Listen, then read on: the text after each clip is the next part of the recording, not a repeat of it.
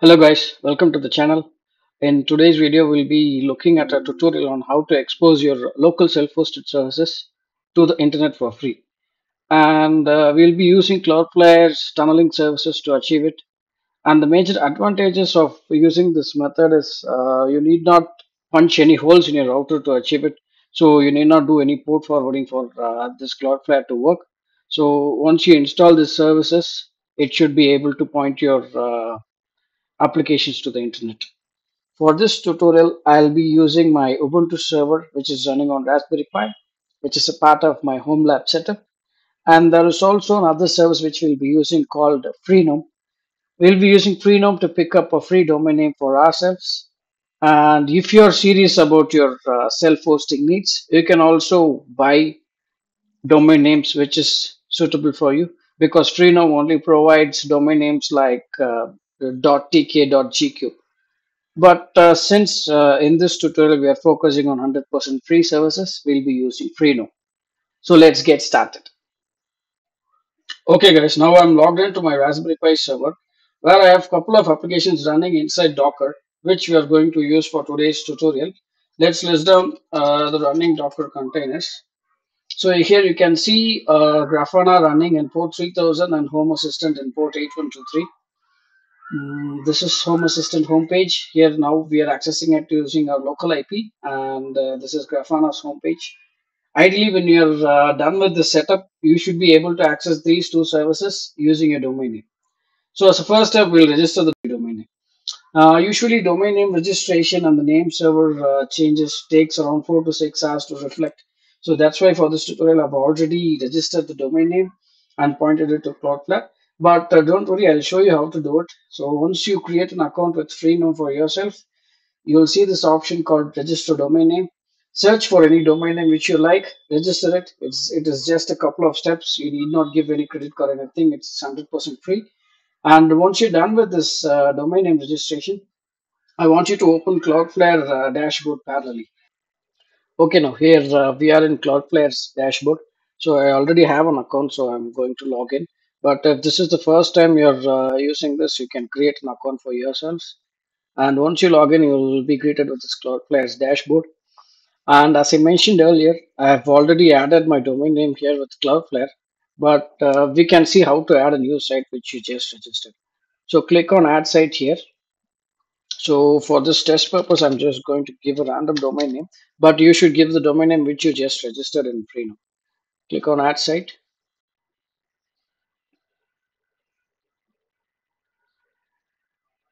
Now it will show you some plans, but uh, don't worry, there is a free tier which we can select at the bottom. If you scroll down, you'll see free. Click on continue.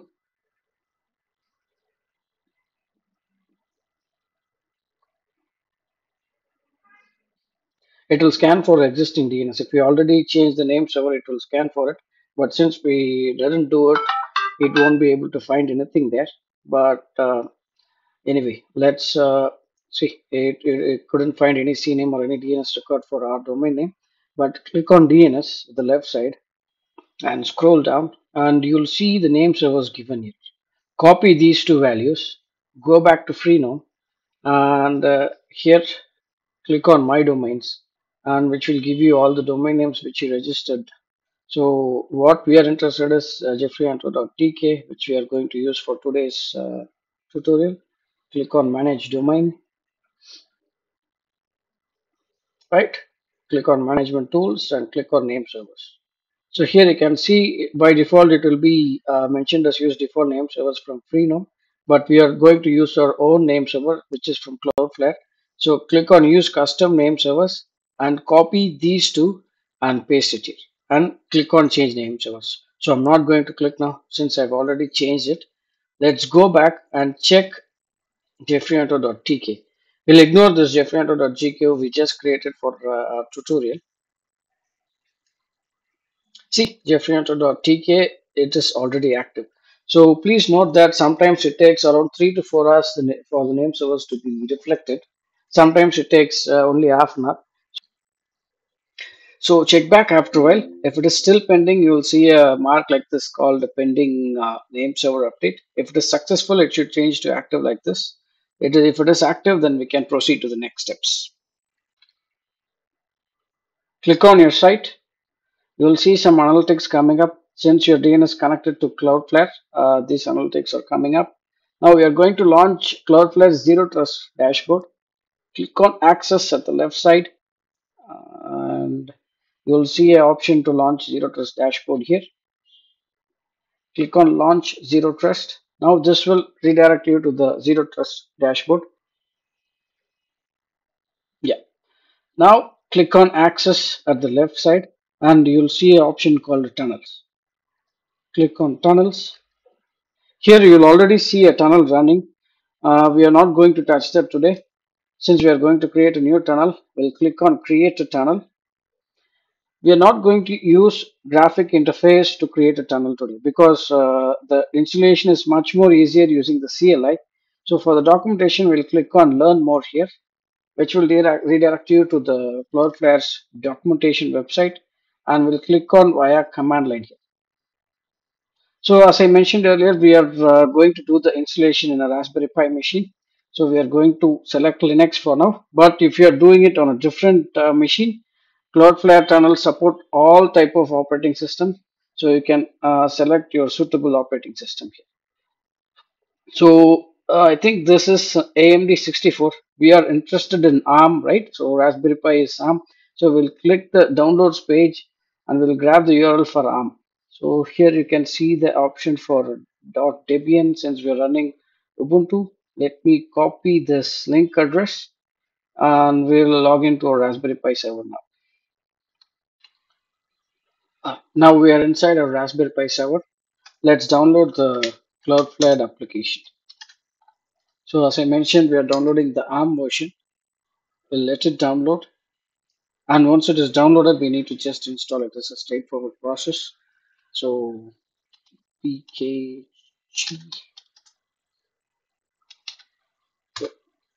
We'll wait for a minute for this installation to complete. Now the Cloudflare is installed. So let us go back to the documentation and check the next step. So authenticating Cloudflare. So we'll copy this command, paste it in our uh, Raspberry Pi's terminal. So once you run this, it will give you an URL. So you have to copy this URL and paste it in your browser so that you can authenticate with your Cloudflare account. Once you log in, it will show you the list of domain names which you have. So for today's tutorial, we are going to use .tk. So I'm going to select that and click on authorize.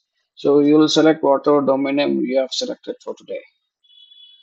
Yeah, now it is successfully authorized. Let's go back.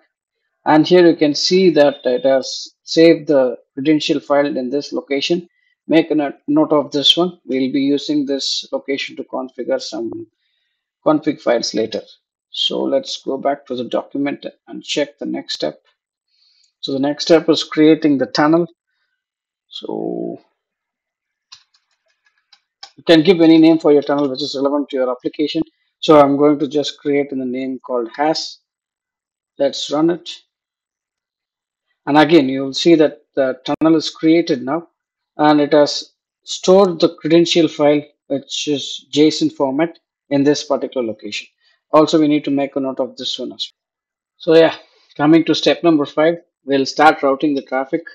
Just copy uh, this command since we are connecting to an application and paste it here. Uh, we need to change two things here. One is the UUID, uh, which or the name. So here we'll give the name, which is uh, has name of the tunnel and the host name is jeffrey.tk now let's run it it should connect your DNS to this tunnel see it is successfully connected since the connection is established now whenever you access jeffrey.tk cloudflare should automatically route the traffic through the tunnel to your raspberry pi but now we need to connect cloudflare to your applications as well so Cloudflare should know whenever someone accesses this jeffreyhanson.tk, which port to forward to in your local network. So that is what we are going to do now. So we'll go back to the documentation and uh, this ingress rules we need to set up is not in the same documentation which we are following. So you have to click on the configuration here and you will see option called ingress rules. Open it and here you will see some examples how to route traffic. So for example, so here they have given an example. This is the domain name and this is the local port in which the service is running. So for us, it is port 8123, which is the home assistant. So we'll follow the same step and create it for ourselves. So I've copied this documentation here and the port is 8123 as I mentioned. We'll copy it so I, if you noticed, you have I have added here one extra line, which is no TLS verify equal to true, because I'm not going to force SSL in my website. But if you are going to force SSL, you can enable it. Now let's go back to Raspberry Pi, edit the same config.yaml, and paste these values. So now, whenever you access this tunnel, it should redirect your traffic to port 8123 inside your Raspberry Pi. Let's save it. We have completed all the configuration that is required for the tunnel to run. So all that is left for us to do is to start the tunnel itself. Let's start it now. Cloudflare tunnel run and then the name of the tunnel. Yeah, now we can see that the tunnel is uh, starting to spin up. Let's give it a minute and then we'll go to the browser. Once it is up, this is the domain name that we have configured. And if you remember correctly, uh, this should talk to Home Assistant when we run it. Perfect. You can see that now the jeffryanto.tk domain name is con configured to connect to our Home Assistant running inside the Docker. The Home Assistant is up and running now. If you remember correctly, in the beginning of the video, we have decided to expose two applications. One is Home Assistant, another one is Grafana. So the root domain name jeffryanto.tk is being used by Home Assistant. Now we need to create another subdomain so that we can point that to Grafana. So we'll head back to uh, Cloudflare's dashboard, not the Zero Trust, the original Cloudflare's dashboard, and let me show you how to create a subdomain for yourself. So here I'm selecting the domain name, click on DNS, and here you'll see a CNAME already created. So this CNAME would have been created when you have run the command from the CLI. So now we'll create another CNAME with the subdomain name. Click on CNAME, give any name. I'll give graph and the target is click on edit and copy the same target. This target is nothing but the name of your tunnel. Okay, and click on save.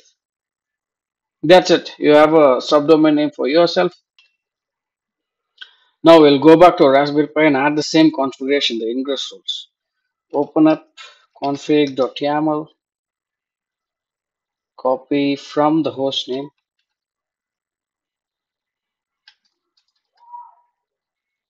paste it.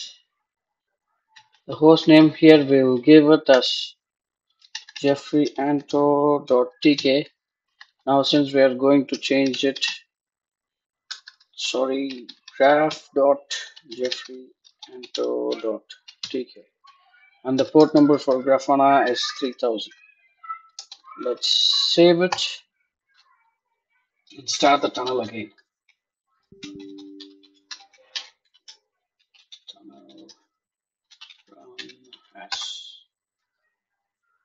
Let it start. And now we'll check graph.jeffryanto.tk. Fingers crossed.